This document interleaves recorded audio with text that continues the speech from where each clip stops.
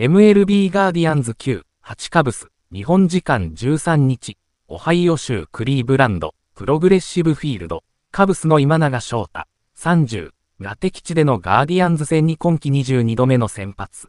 5回、81球を投げて、被安打7、日本塁打、脱三振3、四死球1、失点7、自責点3、で防御率は3.16。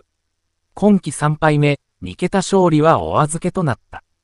3番、ライトで出場した鈴木誠也、29は4打数2安打1打点で打率は269。チームは同点に追いつくも8回に勝ち越されて連勝は4でストップした。アリーグ中地区首位のガーディアンズと初対戦となった今永、カブスは4連勝中でワイルドカード争いの3位ブレーブスまで3ゲーム差の7位。2桁勝利に王手をかけている今永は1回、アリーグ首位打者争い3位の1番 S。クワン26をストレートで差し込みショートフライ2番 L。トーマス28はスプリットで空振り三振と1回はわずか10球で抑えた。3回、カブスはこの日、30歳の誕生日を迎えた1番、1。ハップ、30が20号ツーランホームラン、今永に先制点をプレゼントした。その裏、今永は西から9番、A。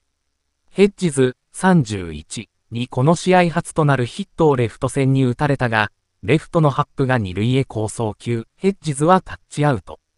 誕生日のハップが大活躍で今永を救った。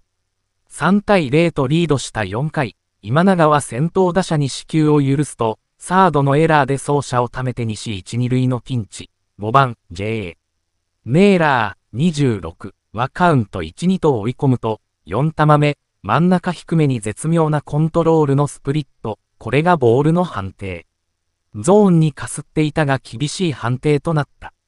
すると7球目のスイーパーをライト前へ運ばれ、1点を失った。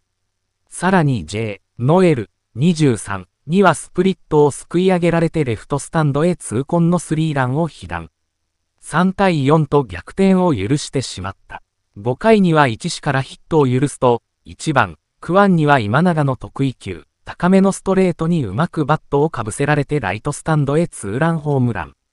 3番、J、ラミレス、31にはヒット、さらに盗塁を許すと、4番、D、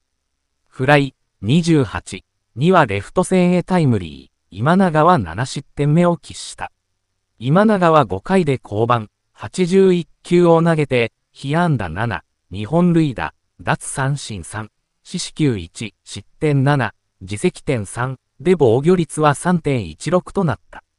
ゾーンをかすめるボールも厳しい判定に泣かされ、2桁勝利はお預けとなった。それでもチームは7回に4点を奪い、さらに8回、1死2、3塁で3番、鈴木がセンターへ犠牲フライ。8対8の同点に追いつき、今永の負けを消した。しかし、8回裏に勝ち越され、連勝は4でストップした。